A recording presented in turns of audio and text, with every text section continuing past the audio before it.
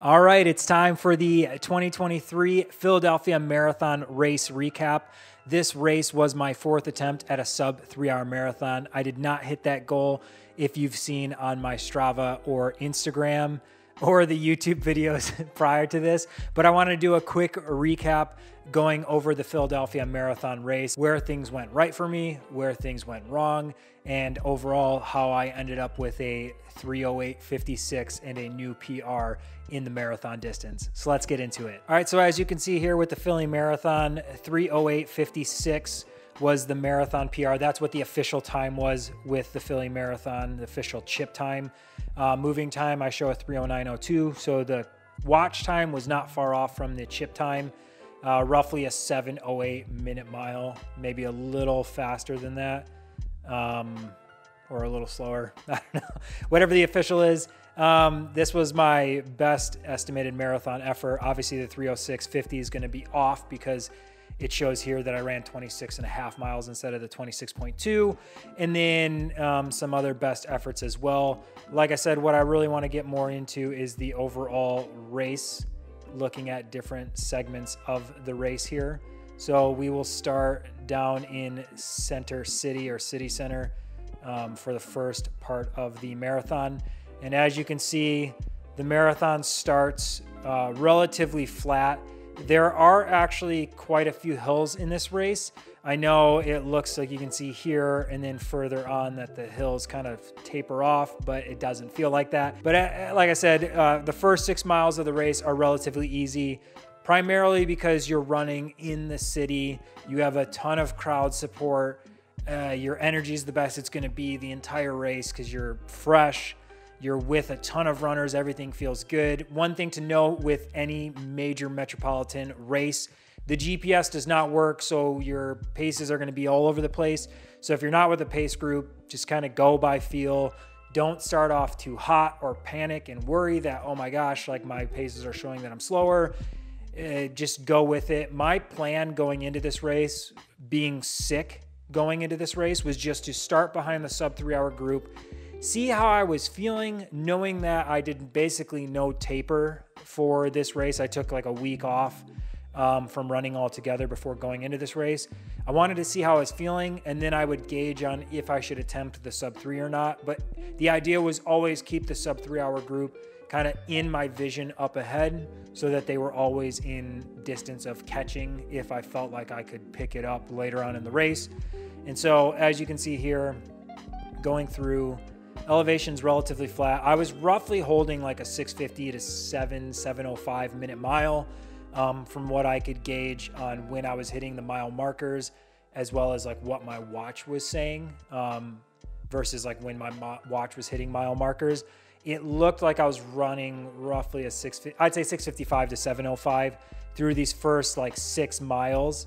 Um, and then actually, it's like almost mile seven here at the river that you hit your first hill. It's an overpass going over the river.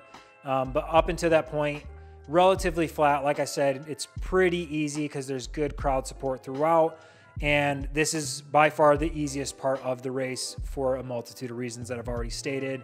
Um, and there's not much more to say to it. The three hour pace group was ahead of me the entire time, but I could always physically see them. I was running with Danny Runs Philly and Aaron.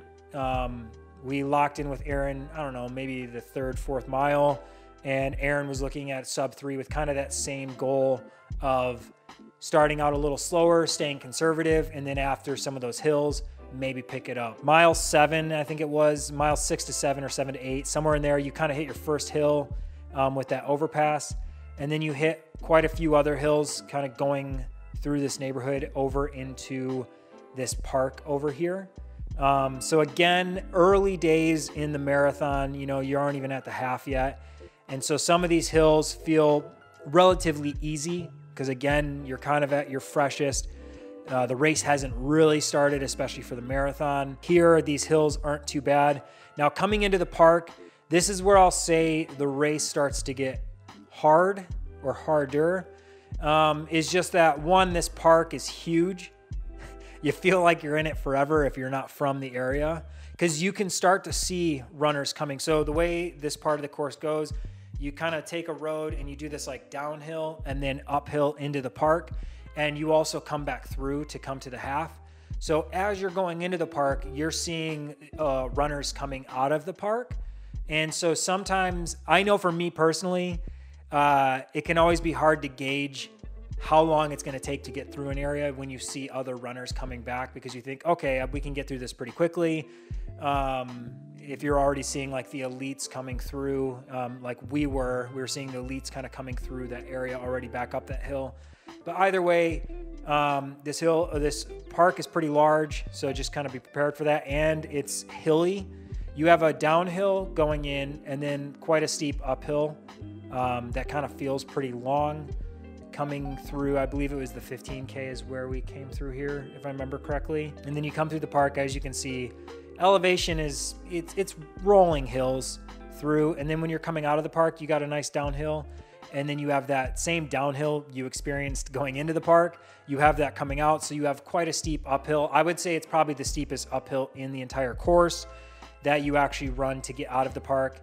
You make a turn um, or no I, uh, I apologize you make a turn and you stay in the park even longer um, which is why the park felt like so long was that you stay in the park for quite some time before you actually make the turn out onto um, go up towards Manayunk. But um, either way, as you can see here, um, you kind of make this big uphill and then you stay in the park. Some more rolling hills um, as you continue to go through Fairmount Park. And then you have that steep downhill going into where you then um, go up and follow the river all the way up into Manayunk, and then you basically do like this turn and come back down. But either way, through this park, you got quite a few rollers. I will say this is where like mile, I don't know, at the half is where I started to notice that taking that week off from the the taper and being sick, where I had just kind of lost that step or edge, whatever you want to call it I just I I knew I didn't have exactly what I was going to need to um, pull off the sub three, or if I did, it was going to be a real fight um, to the end. Here's also, I believe it was mile 15 to 16, where I knew it kind of tapered off um, in terms of the hills, is where I broke off from Danny and Aaron, knowing that the sub three hour group had kept kind of breaking farther and farther away and that if I was going to make any type of move, it wasn't going to be like this big move where all of a sudden I was able to cut down to like 640, 630, 620s. Like I realized at roughly the half between the half to like mile 16 that like if I'm going to pick it up to catch the three group, I'm going to have to start sooner than I had thought. I was planning on maybe at mile 20 so that last 10k like really picking it up in the last 10k but at about mile 15 or 16 i realized that if i'm going to make any move it's going to have to be now and it's going to be like marginal um, a marginal effort like marginal gain in my pace overall. So just quick pick up this the pace a little bit and hopefully over those like last 10 miles maybe i can close that gap with the sub 3 and maybe get that goal. So somewhere here in mile 15 to 16 I um, slowly broke it off from Danny and Aaron. I'm pretty sure it was here because I remember in this downhill, I thought, okay, if I'm going to pick up the pace, the downhill is the perfect place to kind of get the legs turning over where it's a little easier. And then I can kind of stretch it out here in the flat. Um, I met up with, I believe it was Andrew from Tennessee. Andrew had been picking it up as well. And it was one of those where I almost felt like we were kind of racing each other for a bit, like trying to, like, am I going to be able to pass this guy and then move on? Or are they going to keep ahead of me and like kind of keep fighting me? And then Andrew and I kind of just like locked in. I think we held somewhere 18 to 20 was where we held, and then it was some of these small rollers here where I just realized, like, even at that picked up pace, like, I just, I don't have it. Uh, like, I was just a little off, um, like I said, from being sick. And um, like I said, just through here, you're out, and these rollers feel a lot harder when you're at mile 18, mile 20, 22, 24, and then obviously 26, like these rollers look easy when you're looking at the elevation chart. But when you're out here doing this out and back, and then especially at mile 20, where you hit and then you do that like basically 180 turn, which is just absurd at mile 20 in a marathon when your legs are tired and you've been doing these rollers, and the turn is like on a slight like incline. So you're like running up a hill and then you turn and then kind of come like this is not fun. Whoever is the race coordinator designing this course really needs to rethink this because they could easily just do like a go around a block, like do like a big square around a block and then come back down instead of this 180 turn because that is rough. But somewhere in here, I just I told Andrew like, ah, you can go on ahead. Don't let me hold you back. And he was like, no man, keep going. Come on, stay with me. And I was like, I just I don't think I have it. Like I've done these runs enough now to know like if I want to keep running and not walk, because at this point I'd been passing Andrew and I'd been passing quite a few walkers already at this point, and I kept thinking like if I don't want to walk and I want to run and I want to potentially get a PR in general, like this is the moment where like okay, pull back a tiny bit and try and hold a pace where I can continue running through each mile and not stop to walk and I could potentially get a PR. Like I knew it was going to be close um, on the PR at this point. I knew the sub three was no longer happening. And so holding this pace was more potential of a blow up and just completely falling apart and having to walk and then just losing everything altogether versus like if I can let Andrew go and like kind of fight my ego and just realize that like hey a PR is still possible then that's what I'll do. So like I said I, I told Andrew to go ahead. He kind of like tried to encourage me for a bit and then realized it wasn't going to happen so he went off to the races. Um, and then like I said you do that 180 you go back through Manayunk down back towards the um, Institute of Art, the what is it? I think the Franklin Institute of Arts or whatever the Museum of Art where the, the the Rocky statue is and where the start of the race actually was. And um, it was somewhere in here, 21 to I think 24, that Aaron actually passed me. So when we were running with Aaron, I kept saying mile 20 is where we're gonna like turn it up. Mile 20 is where we're gonna turn it up. And then, like I said, it was at mile 15 or 16 that I realized like I'm not gonna be able to turn it up at 20. I'm gonna have to like incrementally turn it up at 15. Well, uh, that plan didn't work. and so Aaron passed me and he was like, come on, man, let's go, let's go. We got this. Let's stick to the plan. And I told Aaron, like, man, I don't have it. Like, I don't have that pep in my step that I need to keep up with you. You go on ahead. You're doing great work. Keep it up. Way to stick to the plan. So Aaron went on ahead. And from that point on, it was a fight for me. So, you know, miles 22 to 26 were definitely a fight. It got a lot harder. Like I said, there wasn't anything crazy. Like when you look at this, this is extremely flat. Obviously, when you're struggling near the end of a marathon, nothing feels flat anymore. And then this, the very end, this feels hard. So the half marathon is run on a Saturday for Philly. So there's an 8K and a half that's run on that Saturday. If you go back and watch my vlog, when we did our shakeout, we actually ran out to this section of the half. We stopped our shakeout. We cheered runners on. The Winfield Track Club was actually out there cheering on at this point. That's where their like cheer section was. And uh, we were cheering them on. And I remember looking at that hill and being like, man, this hill is not hard. Like I've run this hill a few times in the few times I've visited Philly, and it's never been a difficult hill. But you know that in a race, when you're going all out and giving it your best, you're giving like that 100%. This at mile 26, it could be way steeper. You know that like 40, 50 feet of elevation gain, maybe 1% grade, feels like 20% grade and 100 feet of elevation gain or whatever, I don't know, 200, 300 feet of elevation. Like it feels hard when you are tired and you're just trying to get to that finish line. So, like I said, I really struggled through here. One thing that did really help was that the crowd energy really dies here until you get to Manayunk. And then it kind of dies again coming back out because you're going back through that same group. So it's relatively quiet. And if you're someone who's really struggling, that can compound the difficulty.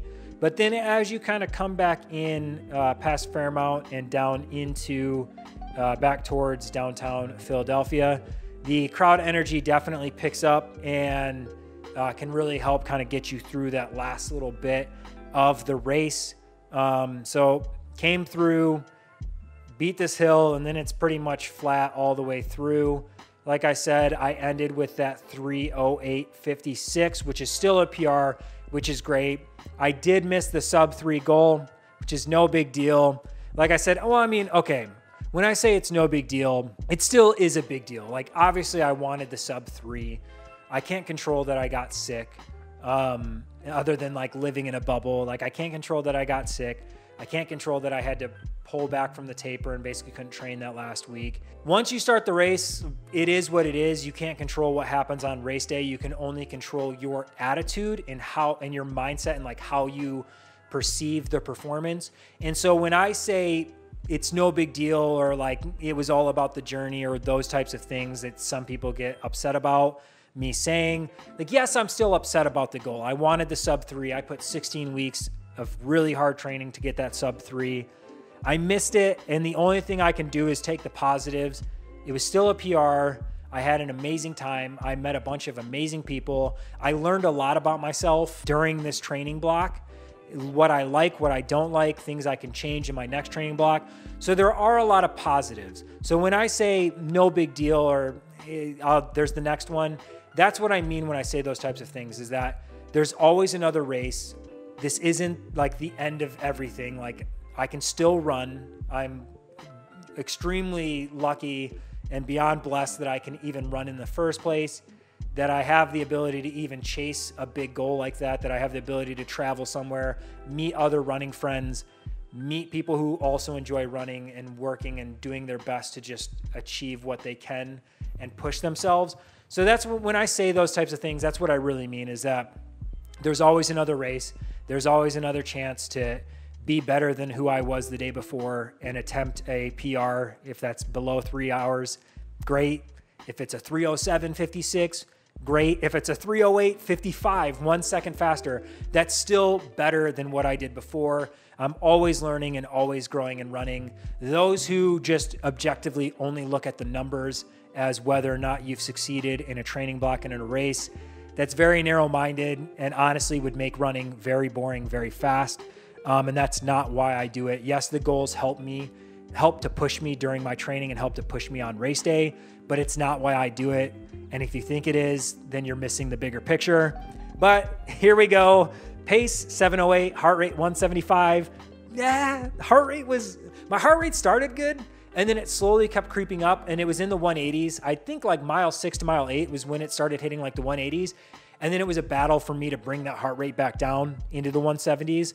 And like that was also a telling sign was that pretty early on, my heart rate got high and wasn't where it should be sitting. Like what I've seen in some of my training runs, especially those longer, like 24 mile runs, like where I've seen my heart rate and where my heart rate was at on race day was telling that like I wasn't 100% back from being sick. Um, so that was also a tell that like like I said at the half and beyond that I knew if I got the sub 3, it was going to be a real battle and it would kind of be like a surprise. Cadence, I don't even pay attention to that. So it is what it is. Anyways, that is the race recap for Philly. Um, I'm super proud of the effort that I did.